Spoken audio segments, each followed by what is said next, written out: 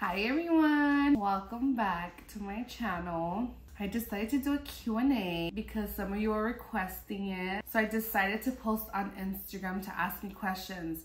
I actually asked a few days ago, but I forgot after 24 hours.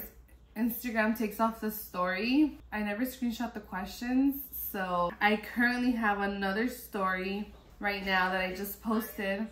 There's people posting questions right now. So I'm gonna answer those. Are you guys ready? Oh, there's people that are so sweet. All right. I got this question a lot, so we're gonna answer it. Do you want more babies? Whew. Um, I don't even know why it's taking me so long to respond to this, but the question, I mean, the answer is no. Why? Because it is a lot of work. My case is very unique to everyone else's. I mean, everyone's case is unique, but the fact that I just had twins back to back pretty much took a toll on me. So, so what I'm trying to say is it has been very difficult caring for a lot of little humans at the same time. So no, I do not want another baby because I don't want to add that to myself because having a child is a great responsibility, even with just one. There's a lot of people that tell me, I just have one child and I'm stressed. Like, yes, even one baby is a lot of responsibility. I have five girls. It's a crazy responsibility, especially since they're all around like the same age. So right now, no, I do not want to have any more kids. Which comes back to another most asked question. Oops, hold on, hold on. Are you going for the boy? No. Honestly, since I'm like a girl mom, I think I would feel weird with the boy because I don't know, like, I love girls. Like, I love taking care of them overall, who they are. I like that they're just more like, oh, they don't like to get dirty. Aria, as soon as she starts, like, um, please forgive my nails, by the way. I need to go get them done again. I should just be like, but um Arya's like eating as soon as she dirties her hands. She's like, Mom, like she wants a napkin to clean them. I don't know. I just feel like it, I like the girliness because obviously like I connect with them. But boys, I don't know how it would be. But no, we're not trying for the boy. I'm happy with the girls. Okay, next. How do you manage taking care of all the girls and working? So, for those of you who do not know, I quit my job. I used to work at um, LAUSD. I started off by working as a teacher's assistant. After that, I became a substitute teacher. And then after that, a resource navigator, basically providing resources for families. But it was very hard on me and it was very tough after everything that happened with Alana. I feel like I needed help myself I couldn't give. I needed to fill my cup first before I could give more. So I decided to stop working. Right now, my job is being a content creator. I feel very privileged to do this as a job. The way I do my job, get the girls ready, my mom helps me out a lot. So I send the girls to my mom's house while I do recordings, I edit, do collaborations and all that stuff. Later on, I pick them up at my mom's house again. It's time with them. Wait, what was the question? so the question was, how do you manage taking care of all the girls and working? So basically, my mom's a great help because I take them to her at a certain time and then I bring them back and then when they're with her then that's when I just start doing all my like recording editing. Oh this is interesting. This is what's your favorite thing about yourself?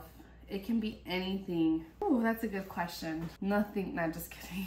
I think it's how resilient I am but at the same time like I'm scared now as I know like no, like please don't test me like if I have to be resilient, yes, but like so much has happened in one way or another. I'm still here, you know? I'm still trying my best because this could have gone a totally different way. I would probably not be here by now. So that's what I love about myself. Okay, next question. This one's a good one. What did you do to survive the NICU? Twins reunite after birth.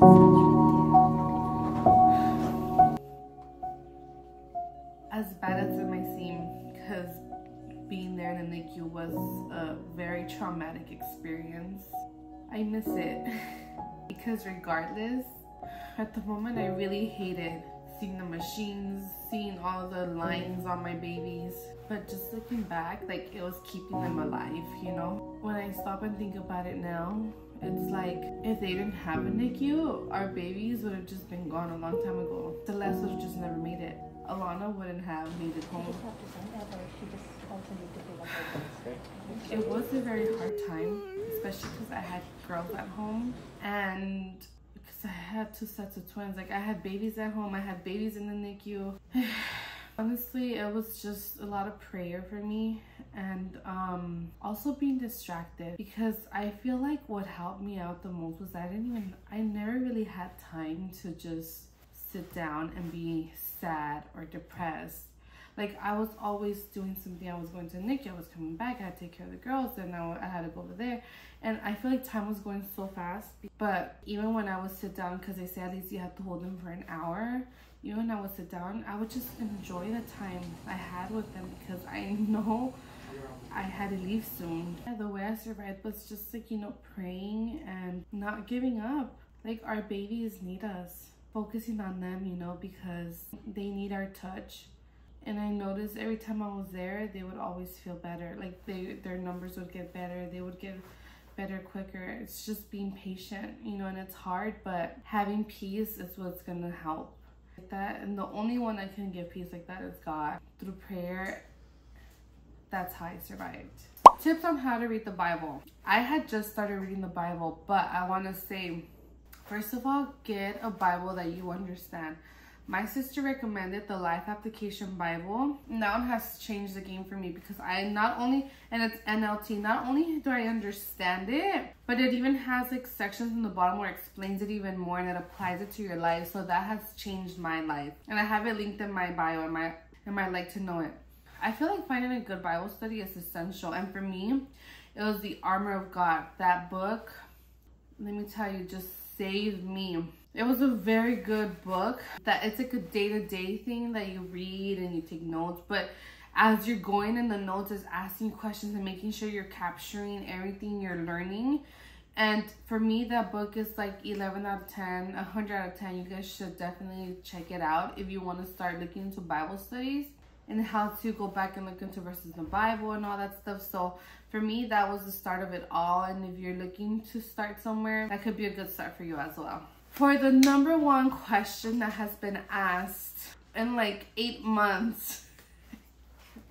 so for the number one question that has been asked in over eight months for a very long time in every single one of my videos Summer Twins husband. Summer Twins husband. What happened to Summer Twins husband? Where is your husband? Alright. I'm here. I present to you guys Salvador Alan Gutierrez. I'm him.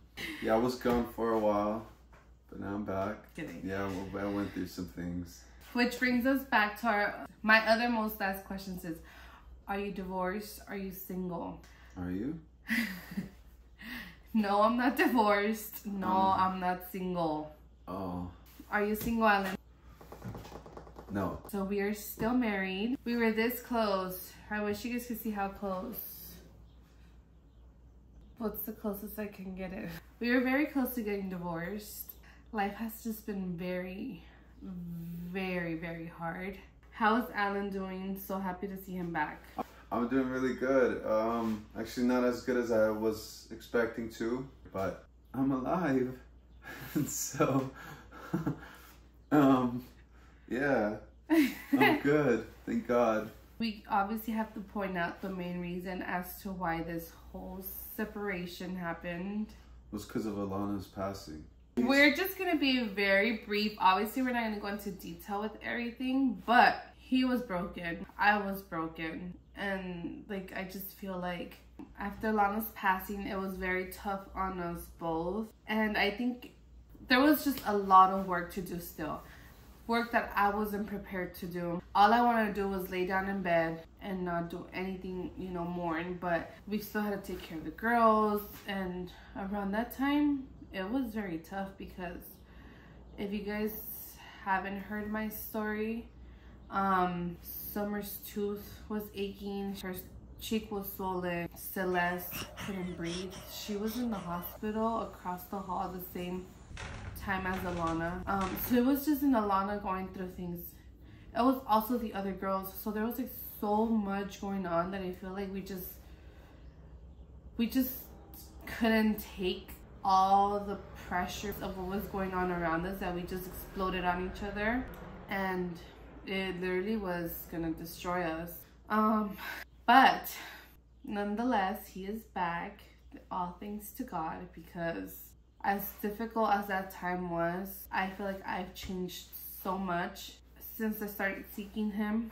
She has. um, so what matters is that he is back. And We are trying our best to work on ourselves as well as our marriage and our family. So thank you guys. Thank you so much for following my wife. she doesn't take it for granted, by the way, and um, she cares a lot about you guys. She's kind of awkward when you guys approach her in public.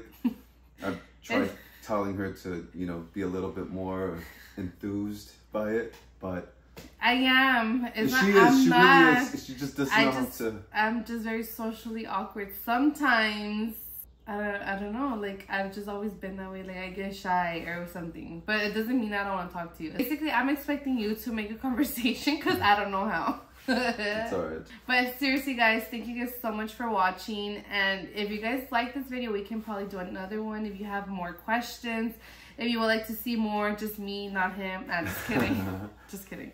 Or Yeah. if you want him to come out more, I don't know, but he has to want to. Do you want to? I wouldn't mind because I still have my side of the story you guys haven't heard. See you guys. Thank you. Uh, All right, you. see you guys on the next one. Action. I'm still six foot two with an attitude. Look.